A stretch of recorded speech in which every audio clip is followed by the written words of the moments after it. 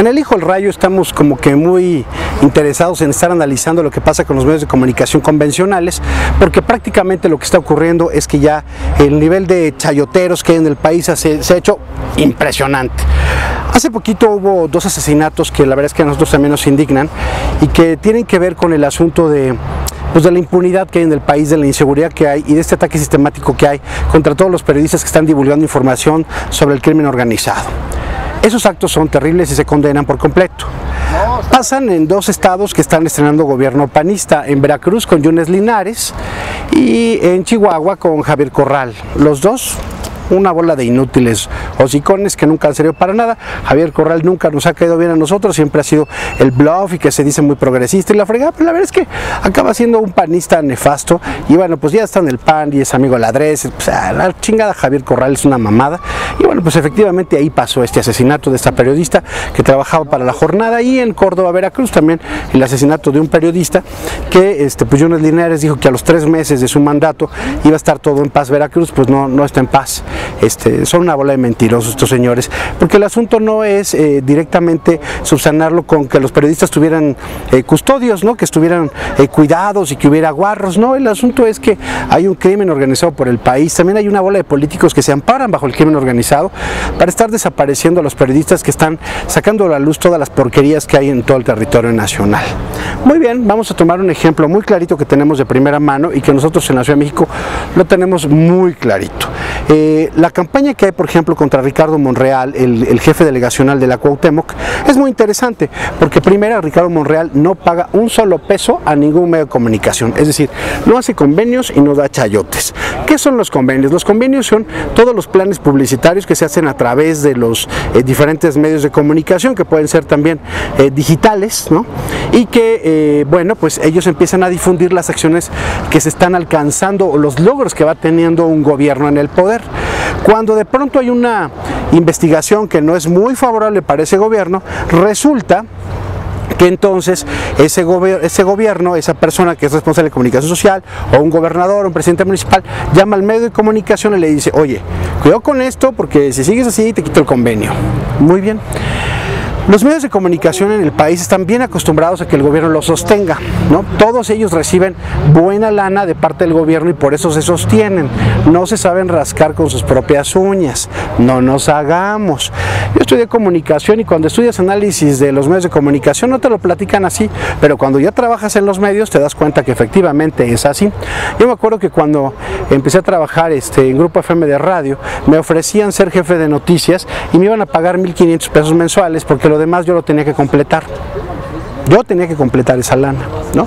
¿Cómo? Pues ya sabes. Entonces, si una comunicación te está diciendo a ti que te va a contratar por una miseria de dinero para que tú completes a través de la corrupción y el soborno, pues está canijo. En el caso también de lo que son eh, los periódicos, bueno, pues yo fui columnista de Milenio, ¿no? Estuve trabajando ahí eh, semana a semana, tenía columna, y resulta que, bueno, pues eh, cuando estaba la campaña de Peña Nieto, pues me empezaron a reducir los caracteres sin, sin ninguna cuestión de racionalidad.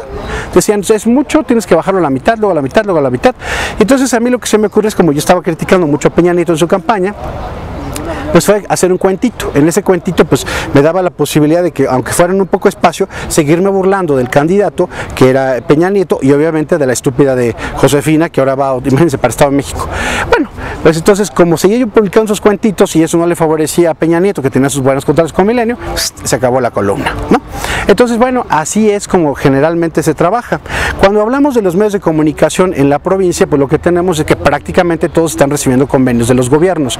En el caso de Veracruz, cuando Fidel Herrera llegó al poder, Fidel Herrera le empezaba a regalar dinero a todos los periodistas que iban a sus ruedas de prensa, a todos los periodistas que iban a sus ruedas de prensa. No tengo ni un solo dato de que un medio de comunicación no lo haya aceptado ninguna persona que haya estado en un evento. Quisiera yo que me hicieran favor de decir quiénes no lo aceptaron porque me encantaría saberlo. Bueno, pero en este caso me tocaba ver cómo cuando yo llegaba a, ver las actividades que hacía Fidel Herrera, ¿no? como activista, y pues veía yo, la prensa se le rejuntaba, así se la remolinaba, billetes, billetes. Y bueno, pues todo el mundo hablaba del tío Fide y la prensa hablaba del tío Fide. Y el tío Fide cuando hubo un desastre de la naturaleza allá en Veracruz, resulta que cuando llegaban todas las donaciones de colchones para los damnificados, cambiaba todo eh, lo que era el, el empaque del colchón, le ponían una tela, lo forraban de color rojo y decía PRI. Y así es como se entregó toda esa ayuda a los este, damnificados de Veracruz. La prensa pues no fue muy crítica sobre ello porque pues recibía sus buenos billetes de ahí. Cuando llegó Javier Duarte fue la misma gata. Y Javier Duarte todavía fue más culero porque además los periodistas llegaban, muchos de estos periodistas que pues no tienen mucha papa porque los sueldos son miserables o no les dan lana, ¿no? Porque les dicen tienes que vender publicidad para tener tu sueldo, pero eres periodista, o sea, ¿cómo? O sea, vendes las notas, no vendes las... ¿Cómo?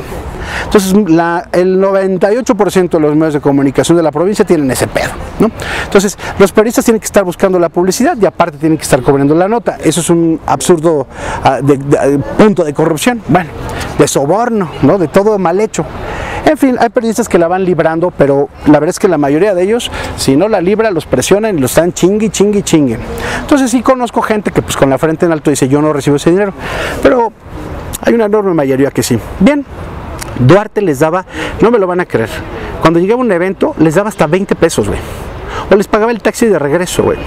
Un refresco, güey. Y la prensa lo amaba a Javier Duarte. Por eso, ahorita cuando empiezan los medios de comunicación a decir, ay, Javier Duarte es un hijo de la chinga. Pues así es. Ay, mi hijitos, no te la compro. Bueno, pues imagínate, esos convenios no los hace Ricardo Monreal. Ahora ahí te va el punto. Este, ¿Qué onda con Ricardo Monreal? ¿Se acuerdan de Pedro Pablo de Antuñano que le habían encontrado una la nota en, su coche?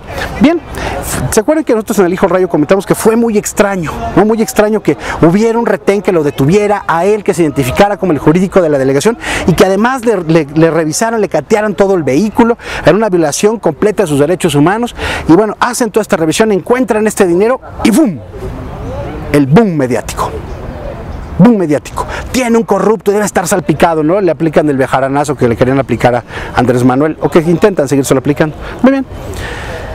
El periódico Reforma dedicó ocho, ocho primeras planas para hablar de ese tema. Ocho. De las cuales tres eran ocho columnas para hablar de Pedro Pablo de Antuñano y la corrupción de Monreal. Muy bien. Eh, Monreal dio 32 entrevistas para aclarar todo esto. Máximo cuando exoneraron a Pedro Pablo de Antuñano de esta situación, dijeron, la, autoridad dijo, no, este dinero sí es lícito y el señor aquí lo tiene y no pasó nada. No pasó nada, güey. Va bien.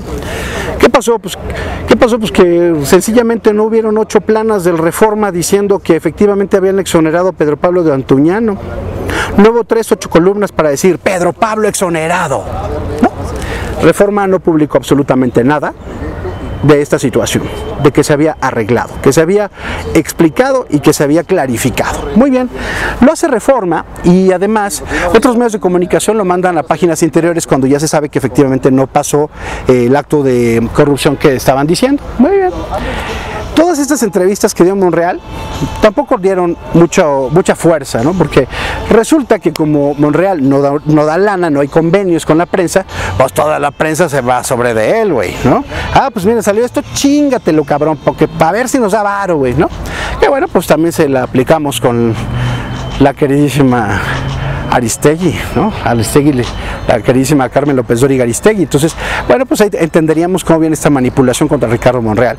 Van a seguir apareciendo, todo lo que venga, ¿no? Viene porque eh, sí debemos de comentar que hay un fuego amigo al interior, porque también, acuérdense que hay que escoger candidato Morena, el candidato que ponga Morena, pues será un candidato ganador, evidentemente, pues la ciudad necesita un gobierno fuerte, definido, y en donde no haya eh, clanes dinásticos, ¿no? Que estén ahí apostando por apoderarse por la ciudad. Entonces, bueno, pues Monreal no tiene ese plan. Este, efectivamente, tampoco se ha difundido mucho un asuntito que ocurrió que este, se pusieron a, atacar también a, la hija de Monreal que trabajaba en el Infonavit, que porque bueno, pues entonces ella era la de los contratos, una mamada. El chiste es que ella renuncia y rechaza la liquidación. Fíjense nada más, el Infonavit, el Infonavit le está dando más de un millón de pesos de liquidación.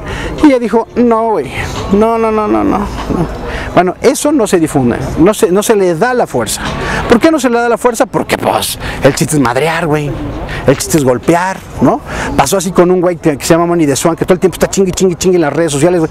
Todo, todo es puro, puro golpe, golpe, golpe, golpe, odio, odio, odio, odio. Y tiene su séquito y sus bots, güey, ¿no? Y el otro día también pone un tweet, ¿no?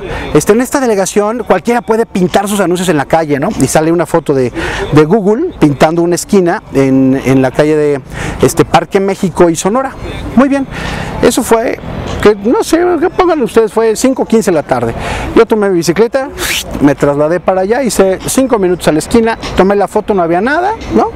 Y entonces subo la foto y le digo, oye, ¿me puedes decir a dónde se fue este anuncio? Porque pues yo no lo veo. Y ya no contestó. El asunto está en que golpear es bien fácil. ¿Y a quién hay que golpear? Al puntero. ¿A quién hay que golpear? Pues el que está haciendo cosas, güey. Y por eso también van sobre Morena, porque Morena en gobierno está haciendo cosas, está trabajando, está haciendo lo suyo. Entonces, en este caso, pues eh, solamente les queremos decir desde el Hijo del Rayo, tomen sus precauciones con los medios de comunicación, sobre todo también ya en lo digital. En Facebook, en Twitter, se están reproduciendo muchas páginas que son falsas y que desinforman.